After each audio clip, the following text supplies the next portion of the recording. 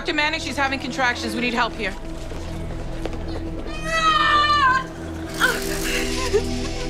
What's happening? What's wrong? She's fully dilated. No, you have to stop the labor. I'm sorry, but the nifedipine is not working. Okay, there's nothing else we can do. We need to move her to labor and delivery. No time. Maggie, get a precip pack, a warmer, and page OB and tell them this baby is coming now. Got it. Jackie, come with me. I'm gonna need you to push for me, okay? All right, you ready? Push.